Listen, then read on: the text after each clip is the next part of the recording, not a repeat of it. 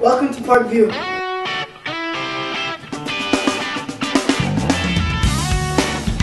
Welcome to Parkview.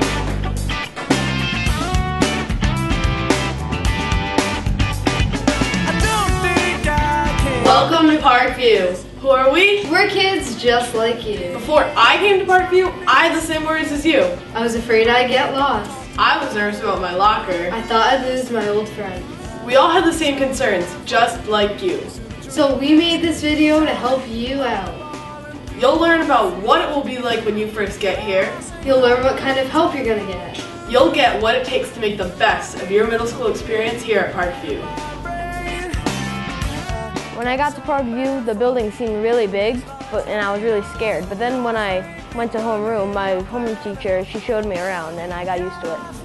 On your first day at Parkview, when you come in, you're going to enter the auditorium and all of your teachers are going to be there to help you. You're not even going to get lost. We have your name. We know what homeroom you're supposed to be in. We even have your schedule. Once your name is called, you're going to line up. Your homeroom teacher is going to take you to your homeroom and you're going to find out which team you're on. At that point, you're going to head down to your homeroom. You'll start writing in your schedule. You'll get a locker. You'll find out where all the important places are in the building. And guess what? You won't even get lost. You'll know exactly where you are. You're probably worried about a bunch of different things. I know I was. But it's really not that bad. Um, before I started my first day at Parkview, I was very nervous. I was also very excited because when you come to Parkview, you have a lot more freedom. You get to um, get walk around a little bit more between classes. Um, but I was very nervous because I was scared that I wouldn't make friends or I would lose my old ones from elementary school. Um, I was also scared that I would get lost. And I was just you know, there's so many things that you think about that could go wrong before you start. But the first day, I really enjoyed it, and I couldn't wait to come back. Getting a locker is one of the cooler things about coming to middle school. It's also one of the things kids worry about before coming here. So it's kind of cool to get a locker. It takes some getting used to, and they're not that big. So when you get a backpack, try not to get something that big. But um, and don't get them that messy either because then it's, you know, you have to find everything in like a big mess. So. Keeping your locker organized is important. It's real easy to lose stuff at the bottom of a messy locker. Yeah, you don't want to end up like her.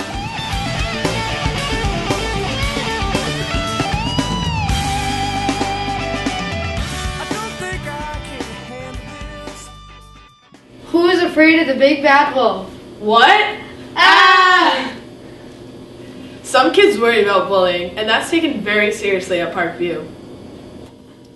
We take bullying very seriously here. We devote almost a month in our advisory program to uh, bullying awareness. We speak to our students in depth about procedures and how to report bullying. And we talk about all the different types of bullying that can be going on at the school. We talk about cyberbullying. We talk about social and emotional outcomes from bullying. And we take it very seriously. We try to be proactive rather than reactive. You know, the biggest thing I always say here is I don't want to be a snitch.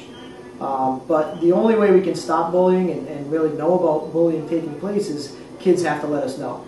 Um, you know, most bullies won't do it in front of a teacher, so unless it's brought to a teacher's attention or myself or another administrator's attention, it's tough to do anything about. So the key is, uh, you know, making sure that if someone is bothering you or bullying you, you have to bring it to the attention of an adult, and now it put the, puts the ball in their court. Project Respect is an after-school club um, that focuses on anti-bullying and respect for everybody at Parkview Middle School.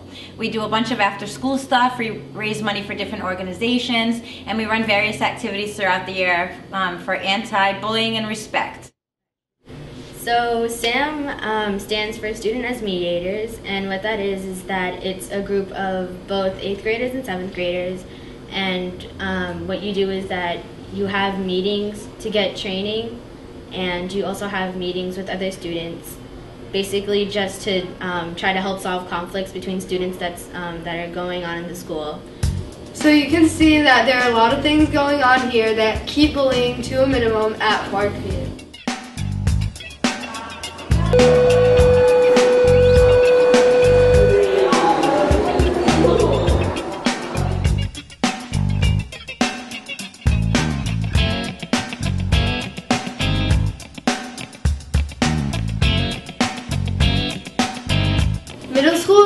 Different from elementary school.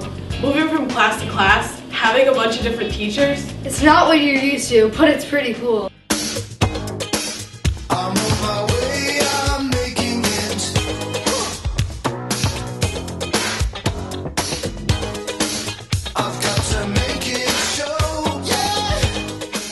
My favorite thing about Parkview is that there are different teachers for each subject, where if you in particularly don't like one teacher, you only have to be there for an hour and then you get to change to something else, and all the subjects aren't squished into one long thing that happens all day, where you get to separate it into periods and different times where you can go to your locker and walk around a bit and stretch your legs so you're not cooped up in the same seat all day. I like art because um, you can express yourself, and the projects are really fun, and all the art teachers are just really nice and welcoming and funny.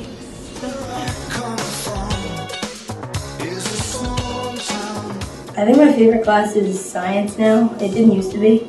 I used to like social studies more, but I like science because we do a lot more hands-on things, and we do like a bunch of experiments and stuff. And yeah, I just like that.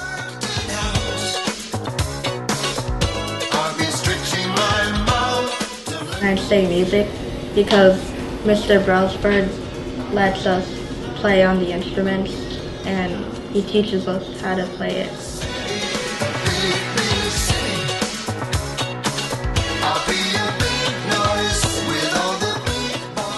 You can see there's tons of stuff going on during the school day at Parkview. Aside from academic things going on, there are other cool things to do during and after school. Um, student council is really fun. We organize most of the dances. Um, we do a lot of charities too. We do like pennies for pasta, which we're working on today actually. And then we also put forth a lot of other charities, like the Pink Ribbon charity we did this October. Um, there's lots of stuff you can do here. You can get involved with the NEED program, um, yearbook. They have yearbook club, and there's a 10-week program like for like sports club or robotics club or mural club, like I joined. And there's Minute to Win It. And we do Minute to Win It every week in our cafeteria, seventh grade lunch and eighth grade lunch, in order to build some school spirit, some team spirit, and have a little fun.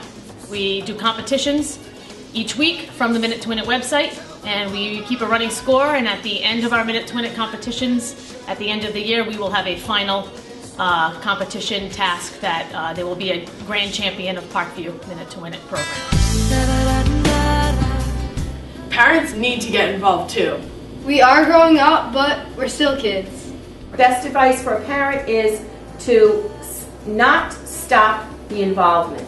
Oftentimes parents transition from elementary to middle school and they stop being involved. You know, students are getting older and they might want to let them be off on their own, but parents still need to be involved. They need to be looking at planners, they need to be checking the website. Um, the guidance department has a great link with lots of information, good parent information, good student information, and so please access the Parkview Middle School website for all departments. At Parkview, our number one priority is to have as many parents involved in their child's education as possible. Here at Parkview, our PTPV is the first place a parent should start. They can uh, sign up to be on the PTPV. I believe it's $5 per family to be a member of the PTPV, which stands for Parents and Teachers of Parkview Middle School. So you can see that everyone has a part to play. Parkview will give you the opportunities to grow. But it's up to you to take advantage of those opportunities. There are three specific behaviors that students, I feel, need to learn in order to be successful. And we focus on them every day at Parkview Middle School. Respect, respect for yourself, and respect for those around you. You need to give respect in order to get respect. Discipline, self-discipline. In order to know when to stay out of trouble. In order to know when to be a leader and not a follower. Self-discipline, knowing when to go to bed at night so that you wake up on time for school the next morning. So that when you come into school, you're awake, you're alert, you're motivated, you're ready to learn. And then of course, of course, organization. Organization in any element of life is key to success. You have to be organized. You have to be organized with your schoolwork. You have to be organized with your daily routine, your book bag, your locker. Everything has to be organized. And organized is something that we stress at the middle school level, organization skills. We provide a student planner for every one of our students so that we start to instill these skills in them uh, throughout the school year and we try to teach them how to be self-organized in order to be successful.